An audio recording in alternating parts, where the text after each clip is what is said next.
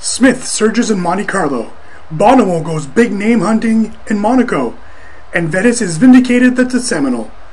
I'm Eric Danis, and this is your Quadjacks Player of the Year Week in Review.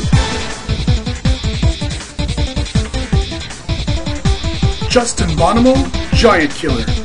Bonomo ran through the competition at the EPT Grand Final Super High Rollers event earlier this week, collecting 1.64 million euro for his big win. Elke was third in the event, Daniel Negreanu was sixth, and Quadjacks Player of the Year leader, Jonathan Duhamel, was the Bubble Boy, finishing seventh. Make it a 5K double for American Daniel Smith.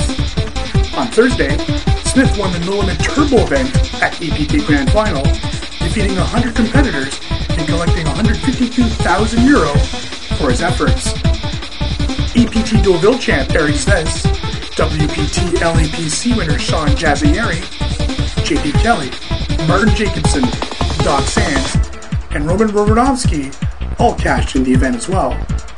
Two days after winning the Turbo event, Smith was right back at it yesterday, winning the 5K No Limit event in Monte Carlo.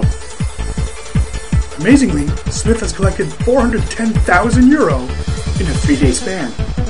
JP Kelly was fourth in the event, while Govert Metaal, Jeff Gross, Mike Watson, and Maxim Lykov also cashed out in the event.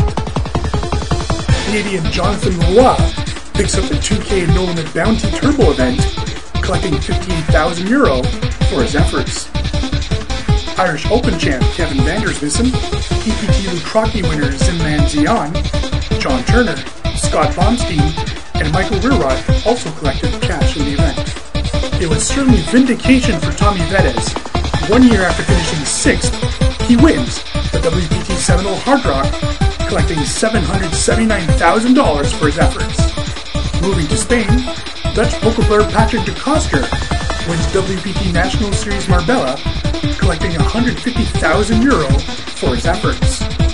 De Koster finished 247th at the 2010 World Series of Poker main event.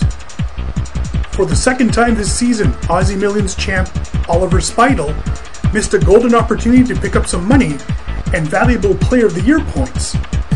Heading into final table play at APT Philippines as the chip leader, Speidel could do no better than fourth, as Devon LaRue wins the tournament in just under $200,000 for his efforts.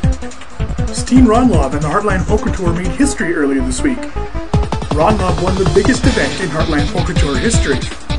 Ronlov collected $270,000 for his victory at the Golden Gates Casino in Blackhawk, Colorado. Trip Kirk is the latest winner on the World Series of Poker circuit. Kirk defeated a massive 625 player field to win $190,000 at WSPC St. Louis. Chris Conrad was third in the event, while Charles Woody Moore was fifth. The race for Quadjacks Player of the Year is certainly heating up.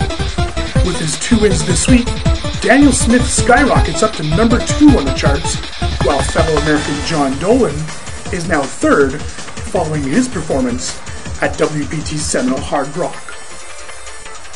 For the full weekly recap and for all things poker and the media, join us at quadjacks.com.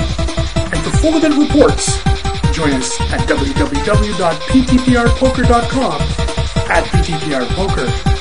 For Quad Jacks, I'm Eric Danis. Have a great week.